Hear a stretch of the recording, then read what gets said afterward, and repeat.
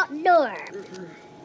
Mileseey Outdoor. And this, this is the Mileseey thermal camera.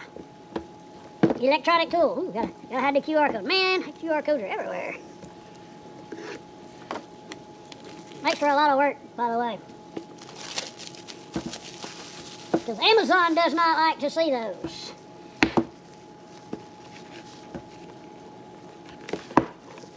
Ooh, that's a fancy box right there. This is a gift box. Check it out. It's got magnets in it. So it's also a case. This is a thermal imaging camera.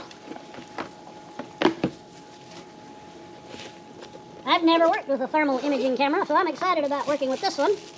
And it did pass the inspection. Not heavy at all. That's cool. We got a charging cable. And we have a book. Alright, so that is our six. Oh, that's, that's five. This one, this I gotta, I gotta, I gotta learn myself on this. Gotta learn some, some new stuff. I am absolutely fascinated by this infrared camera. Very simple design to it. You do have some options. You can go into the the menu, or the menu, the distance, the, the temperature values, the temperature range, temperature units, the palettes. You can change it so that the hot stuff shows red, or you can reverse that around. You can connect it to your computer and record directly onto the computer.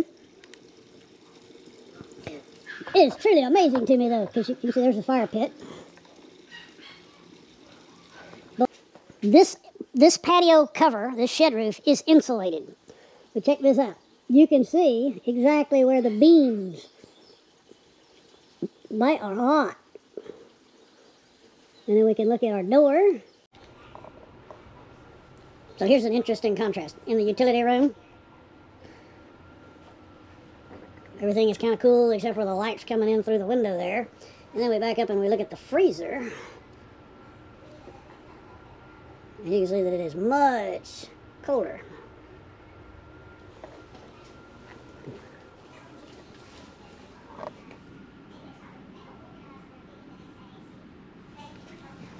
There's our, there's our boy dog, Mr. TT, Mr. Tex.